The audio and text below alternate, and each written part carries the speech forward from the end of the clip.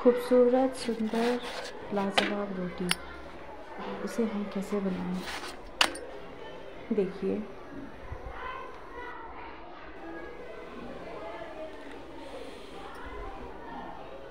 पहले आटा ले, फिर उस आटे में आटा लेकर, उस आटे को पानी डालकर उसे गूंद लें। आटे को अच्छे से हाथों से गुने। कुछ इस तरह फिर उसे अच्छे से हाथों से गुनकर पानी डाल डाल कर गुने कुछ इस तरह हो जाएगा।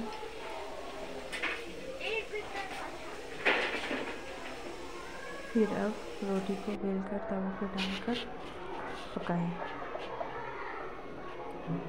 रोटी अपने आप फूल रहा है। कुछ हाथों से भी, हल्के हाथों से थोड़ी से। और अच्छे से फूल जाए, इसके लिए फुला सकते हैं। ये देखिए हमारा रोटी। आप देख सकते हैं, हमने पहले रोटी डाला। धीरे धीरे आँच में जब छोटे छोटे दाने रोटियों में से आएँगी, तब इसे पलटना है। अब रोटी को पलटे। आप देख सकते हैं छोटे छोटे हल्की हल्की ब्राउन ब्राउन दाने रोटी में। इसे पकने दें अच्छे से। पक रहा है।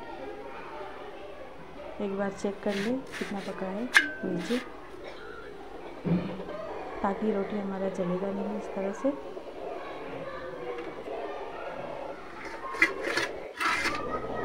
रोटी बन रहा है।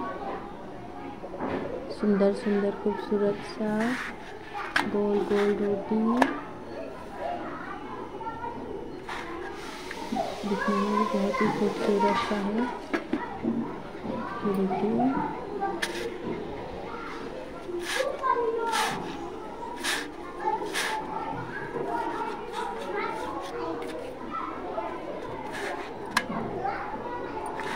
पक गया।